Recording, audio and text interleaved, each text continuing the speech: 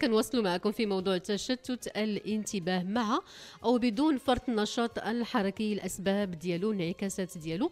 طبعا كيف عودناكم قبل ما نختموا الحلقة نصائح اللي غنحاولوا نتقاسموها معكم لكيفية التعامل أو تقنيات التعامل مع الوليدات اللي عندهم. تشتت الانتباه صوفيا شميشة كنذكر أخصائية في العلاج الحسي الحركي. اذا شنو خص نديرو مع هاد الوليدات؟ على مستوى البيت والمدرسة أيضا. نصيحة لكل الاطر التربويه التعليميه اللي كنحييهم بهذه المناسبة. d'accord alors أول حاجة بالنسبة للأطفال اللي كيكونوا أصغر سنا أو حتى الكبار نحاولوا ما أمكن أننا نقلوا l'exposition أو لا الشاشات. هذيك ضروري. نقلوا ما أمكن ونديروا واحد آه يعني القوانين في البيت اللي ما تخليش أن الطفل ديالي نهار وما طال يكون exposé ولا معرض لهاد الشاشات هذه لأنها كتزيد من الحدة ديال تشتت الانتباه.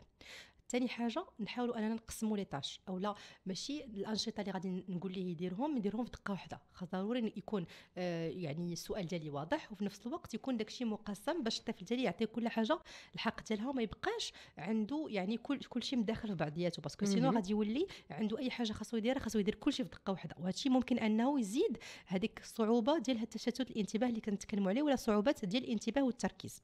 alors ثالث حاجة ممكن أنه آه، يعني نعتمدوا أكثر شيء على le jeu أو على اللعب.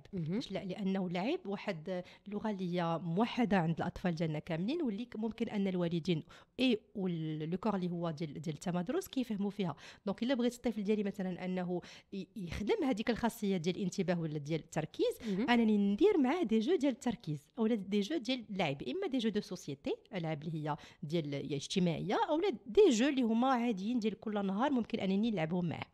d'accord لأنه كيفهموا بزاف وكيعاونوا هاد les jeux تعطي بعض الامثله صوفيا ممكن أننا مثلا آه لعبوا آه le jeu ديال 1 2 3 soleil مثلا واحد جوج والوقت الطفل ديالي يوقف. يعني غادي هادشي ممكن أنه يخليه يتconcentra أكثر على الجسد ديالو. بما أننا تنتكلموا على la concentration sur le corps ولا أنه الطفل يركز على الجسد ديالو.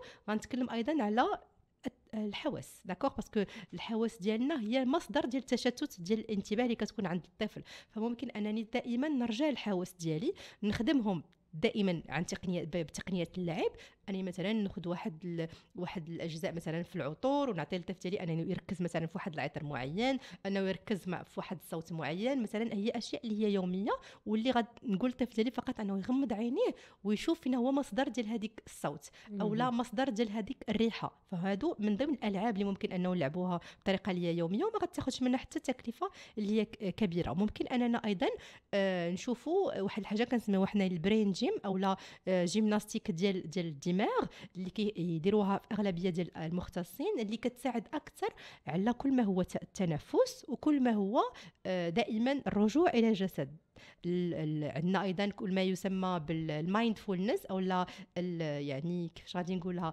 يعني الوعي الكبير بالجسد اللي فيه أيضا مراحل ديال التنفس أيضا الطفل كيتكالما وكيتسونطر على الجسد ديالو كيخلي كل ما هو مؤثرات خارجية وكيتخلي هادشي تحفيز وهذه التقنيات كتعلم اذا أنا ماشي سهلة. أكيد كتعلم. في نفس الوقت آه يعني هادشي اللي قلت في الأول راه كاع الوالدين وكاع يعني الناس ديال ديال التعليم ممكن أنهم يعرفوهم يعني يقلبوا مثلا في الإنترنت يسولوا الناس. كاين بزاف ديال les exercices ولا بزاف ديال التمارين اللي كتساعد ولا كتحفز الانتباه عند الطفل. ولكن الحاجة المهمة في هادشي كامل هو النوم والأكل. d'accord parce que مثلا الا جاني اي طفل اللي هو عيان راه مستحيل أنه ينتبه أو أنه يركز. أو الطفل ما واكلش ولا عنده فقر في شي حاجة أو عنده واحد la carence في واحد الحاجة من ناحية ديال الأكل راه حتى هي كتحفز وظائف الدماغ باش أنها يكون عندها واحد الانتباه ومن بعد واحد التركيز اللي هو جيد.